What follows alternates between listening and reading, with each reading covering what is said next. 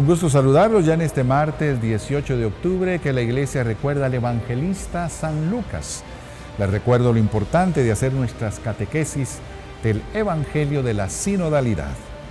Bien, vamos al texto de hoy que dice así. En aquel tiempo Jesús designó a otros 72 discípulos y los mandó por delante de dos en dos a todos los pueblos y lugares a donde pensaba ir y les dijo, La cosecha es mucha y los trabajadores pocos. Rueguen por tanto al dueño de la mies que envíe trabajadores a sus campos. Pónganse en camino, yo los envío como corderos en medio de lobos. No lleven ni dinero, ni morral, ni sandalias, y no se detengan a saludar a nadie por el camino. Cuando entren en una casa, digan, que la paz reine en esta casa, y si allí hay gente amante de la paz, el deseo de paz de ustedes se cumplirá, si no, no se cumplirá. Quédense en esa casa, coman y beban de lo que tengan, porque el trabajador tiene derecho a su salario.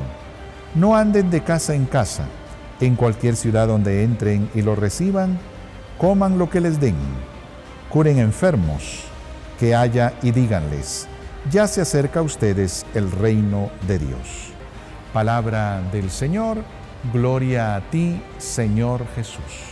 Bien, aquí está la misión de los 72. Pónganse en camino.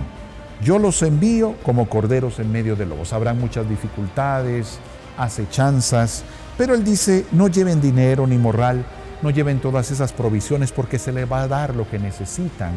Cuando lleguen a un lugar, hospédense en una casa, no anden cambiando de casa, quédense ahí no reclamen y no estén allí perturbados por la comida, coman lo que les den. Señor nos invita a aceptar cuando se es misionero aquellas cosas que nos den, no andar de casa en casa. Hoy definitivamente se nos recuerda que estamos en un mes misionero, en la actividad misionera. Y aquí siempre recordamos Redentoris Missio número 90.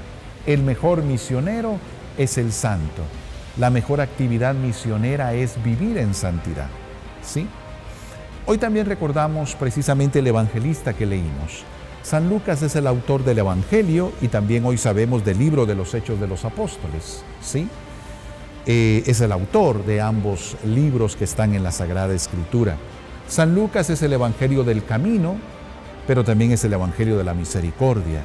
Él utiliza mucho estos dos elementos, capítulo 15 de este Evangelio, nos habla de la parábola de la oveja perdida, de la moneda perdida, del hijo perdido y por lo tanto también más conocido como el hijo pródigo. Esos tres parábolas de la misericordia, pero también él usa mucho el camino, es el único que nos narra el acontecimiento de los discípulos de Maús, capítulo 24 de San Lucas.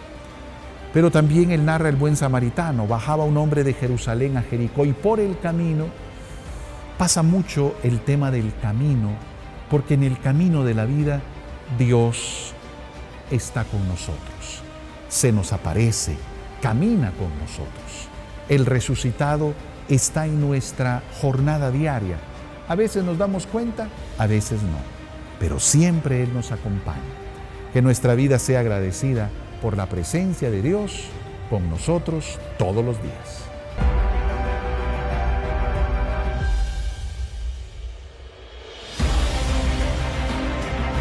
Televisión Arquidiocesana, por una iglesia en comunión.